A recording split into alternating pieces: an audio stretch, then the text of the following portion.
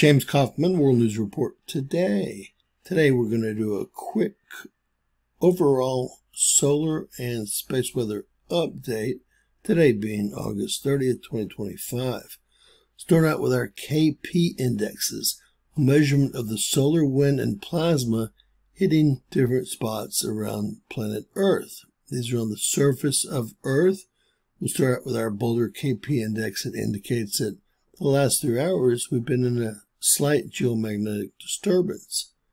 Our Fredericksburg KP index says that really nothing has occurred as far as solar wind or plasma all day long, along with our estimated planetary index.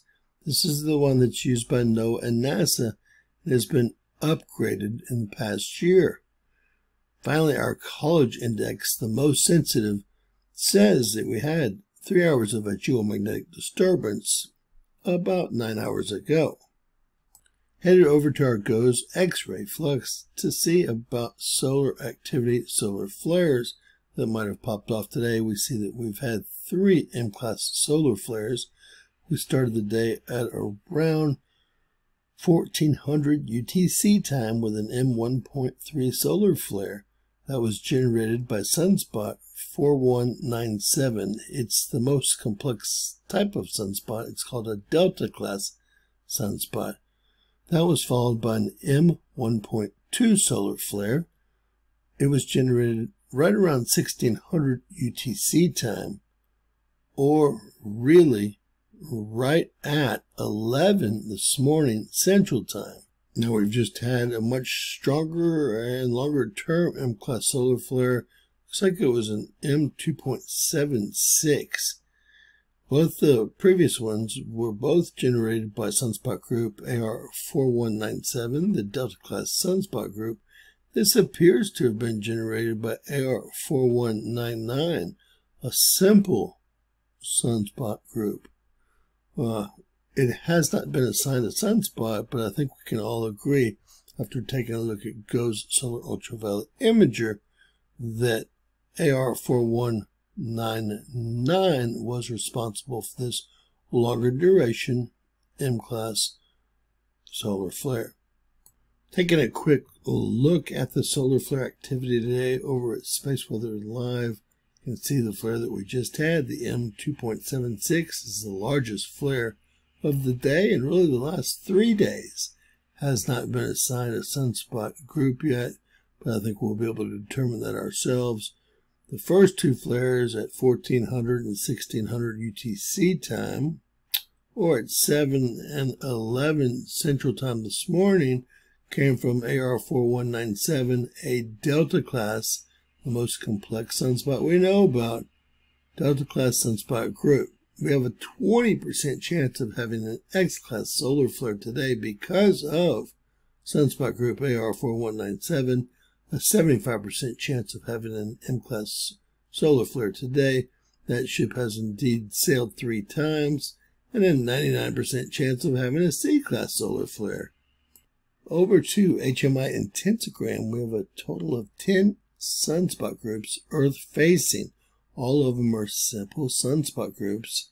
You can tell by the color green.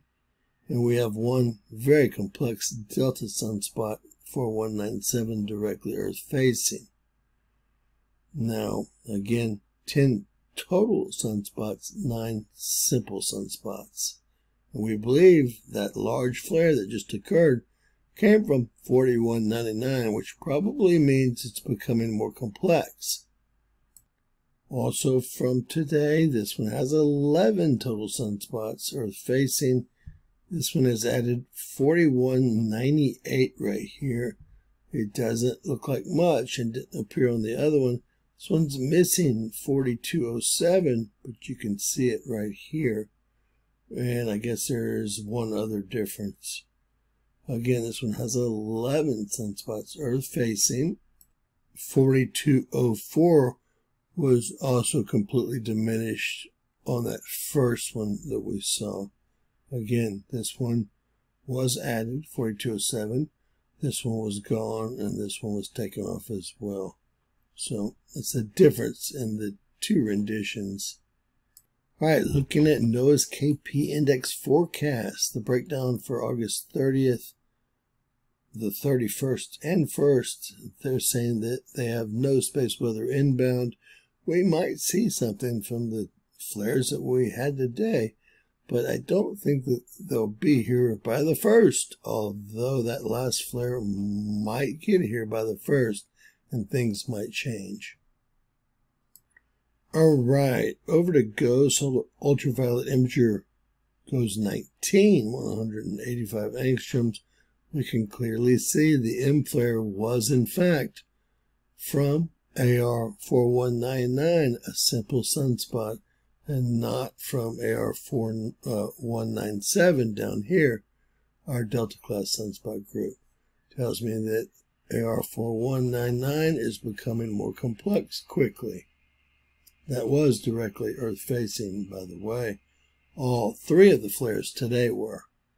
Over LASCO C3, we do have one explosion here, uh, and it seems to be really eclipsed by the limb of the sun, but it does in fact hit right there. Argos C3 LASCO satellite lens, as you can see, it'll hit it right about there. So that might be slightly geoeffective towards Earth. We'll see how that looks.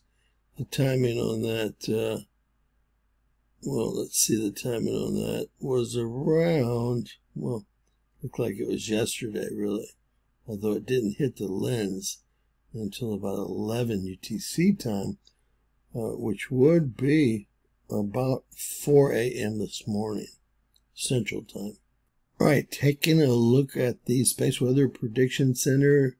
NOAA's updated prediction center cost the taxpayers a uh, million dollars plus to update it. Today is the 30th, and they're thinking that plasma is going to start the day out at around 2 and end the day out at around 4. 2 to 4. Going down the solar winds has been updated, and that's strange because it's Saturday They have solar winds starting at around just above 400 kilometers per second and perhaps ending the day close to 300 kilometers per second. So they have it from 2 to 4 and 400 to 300. Let's see how they did when we get there. All right, we are no longer in a polar cap absorption event. And in fact, we will be able to see at least that second M-class flare, which was right there. And we'll be able to see that last flare. This is our, whoa, we jumped into a polar cap absorption event and jumped out of one. It was very weak, but it looks like that's what happened. Let's take a look at that again. Crazy. Right when that flare hit, it did that to it crazy. So I guess when this larger flare hits, the same thing may or may not occur. Let's see. There's the stronger flare there. And it does not bring us into a polar cap absorption event of any sort. It was mainly over the United States. Lots of x-rays for everybody. Lots of radiation for everybody. All right, looking at composites of the backside of our sun, this being Earth facing, and this being a day and a half old. It takes them about that long to put this together, although it would be simple to get a satellite back there. And we've had one back there many times, the Europeans have. You can see we have a huge sunspot group that's probably going to bust up into several 019 here in red. A small sunspot group 021 here in yellow and a larger sunspot group 022 here in green. Most importantly, this is a day and a half old, so y'all saw 4107 already named just now today. And it made it around. This is going to bust up into several sunspot groups. But we do have the tip of that already around the limb and already named. Over to our DSCOVR Real-Time Solar Wind Satellite. It's the newest of the two that we use, ACE being the older one. We have plasma hanging out from about, well, we can go from two to four. There's a couple of spikes, but nothing out of the ordinary. I think they did a pretty good job on guesstimating that. Now we do have one or two minutes that are actually above space weather threshold of 10 centimeters cubed. Uh, but those really are not enforced by, well, by the temperature here uh, and not really enforced here either. So this could be anomalies here. But basically, they did all right, although it's a little bit higher, hotter than they thought plasma-wise. It did start at around 2 and did end up a little bit higher than 4. Maybe it's going to end up around 5 or 6. There's 8 right there. Solar winds, they have them starting at 400 kilometers per second. They did a pretty good job there. Look at that. And ending the day out at 300 kilometers per second. Now we haven't ended the day, so they might dip down. I see temperature is dipping down and plasma's coming down too. We'll have to see how they do, but they expect them down much further here. Temperature has been normal and has become very mild over the last few hours. So they did an okay job with some spikes in plasma that weren't called for. And they did a pretty good job on the solar winds here as well. From 400 to 300 was their prediction. We're still a little high at 370, but we still have some time left in the day. All right, looking at our ACE real-time space weather satellite. Uh, we start the day out here, probably at right around 400 like they indicated. And it's headed towards, well, right above 350, 360 there. And they did think it would go down to about 300. So they didn't do a great job on the solar winds. Plasma is way low. They had it from 2 to 4, although there has been a few bumps in the road that have brought it up to about 6, 7, and 8 centimeters cubed. And these two readings here and here that bring it above the threshold, we'll call those anomalies because they're just not really supported by any temperature spikes.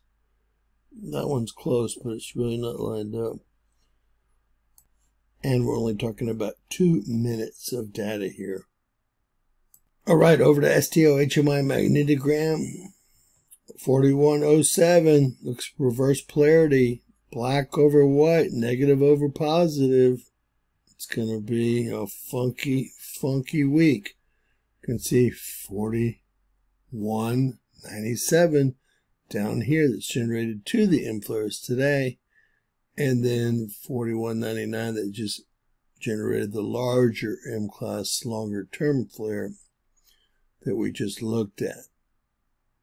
Right, this one was taken at 6.06 this morning Central Time. Looks like we have a coronal hole of some sort. Not a lot of the camera would be missing, but a coronal hole of some sort. 41.97 and 41.99 hanging out here and here. There is 41 or 4207 that was just named. And we're not seeing some of the sunspots that are in this area here. 4202, 4203, etc. So here she comes. Should be a busy week. Surprised that we haven't seen a stronger flare thus far, but it's definitely still in the works. All right, over to the EESA, the European Space Agency, EUHFORIA. This has not been changed in over a week. But you know what? They ended up putting all this garbage in here with all this heavy plasma hitting the planet that never happened. They've actually gotten lucky way back on the 30th today here with plasma down here at about 3 and going up to about 8. That is luck. Talk about serious luck. I don't know where any of this came from. Nothing like that occurred. And I don't know where the solar winds that they all thought were going to be inbound came from. There was no coronal hole. Today it looks like we started at about 400. And we'll see how they did. And we went to about 350. Uh, let's see, let's see how they did. So, uh, see if we can back that up. Let's not back up. My apologies. Try it one more time here. And we have our solar winds on the 30th. There we go. On the 30th, starting now, it's uh, about 375, not bad. Again, they're getting very lucky here because this hasn't been, uh, well, none of this happened, and this hasn't been adjusted in over a week. And they did, in fact, go down uh, from 400 to 350, and, well, that's about what they have for the day. Again, complete luck because this never occurred. And finally, over to the planetstoday.com, we have geomagnetic connection of Pluto, Ceres, Eris, Saturn, Neptune, very soon Uranus. Uh, dates to really watch, where I believe that we could have some real problems are going to be, I believe, the 9th and 10th here. Yes, the 9th, 10th. Those two dates right there. And the big date is going to be, now we actually pick up a geomagnetic connection to Uranus here on the 12th, 11th, 12th. And as the moon comes around, which is a big player in all of this, and it gets to this point here, the 20th through the 22nd, 20th, 21st, and 22nd, we really have an incredible lineup here with two gas giants behind us, the moon in front of us in between the sun and earth, and then at a nine degree angle, we have Uranus. And this is the perfect setup for an uptick in volcanic activity, earthquake activity especially, and, well, solar flaring activity as well. We will do an update tonight on earthquake activity, volcanic activity, and overall weather on planet Earth. Hopefully, y'all join us at about 9 p.m. That said, God bless each and every one of y'all. Please share, subscribe, and always remember anything's possible. Bizarro world.